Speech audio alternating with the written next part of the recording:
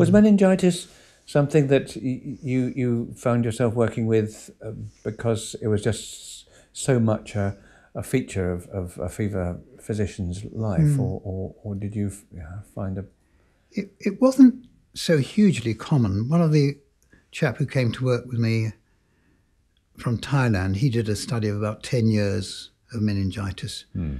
And I think it was about just under 300 patients. It wasn't, maybe what, like 30 a year. It wasn't, and some of them were viruses. So it hmm. wasn't hmm. so incredibly common. But I did find it very taxing. And you're always so terribly worried about the risk of neurological damage. yes, And um, and the speed with which people speed, can go the off? speed. Oh, Yeah. terrifying, terrifying.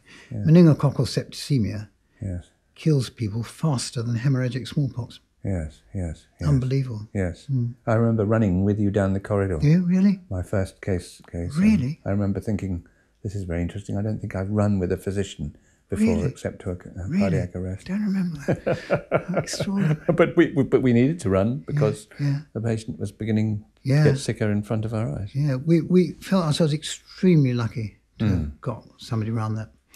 Now it's all intensive care stuff, complicated management. When I realised the circulatory side was a bit getting too hard for me, Hmm. I used to call in long before intensive care units, which Tony Dornhorst said in his sardonic way were more intensive than careful.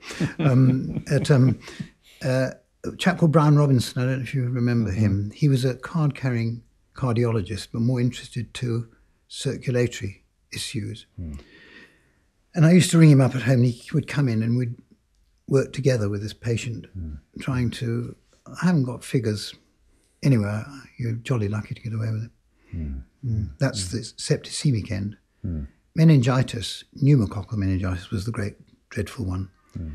If a person had meningitis but not septicemia from meningococci, you really felt you should be able to get away with it. Hmm.